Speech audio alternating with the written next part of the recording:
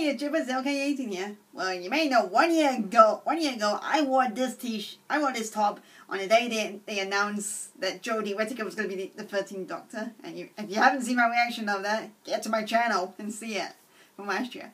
But now I'm doing this again because Doctor released uh, a, a trailer for the release date of Season 11. Season 11. So, let's get to it. Whoa! Stained glass explodes! There she is.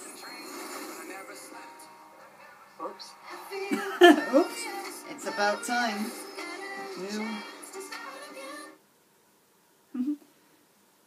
okay, well that was quick and interesting. Go ahead and say it. Like she was in the museum vision all the stained, or not stained, uh, stained glass grass was beautiful, and then they all pew exploded. And all the doctor said is, "Oops." well, the rumors are true.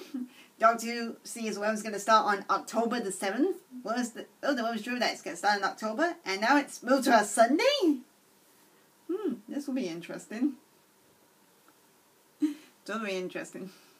I can't. Finally, I can't wait to see see it. Can't wait to see the Jodie's debut. Uh, and we know the first episode is going to be called "The Woman Who Fell Fell Fell to uh, to Earth."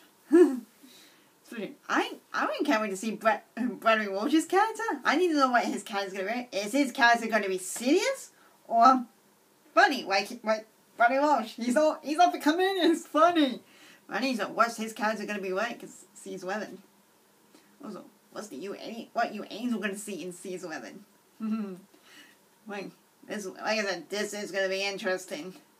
Well, catch you guys later.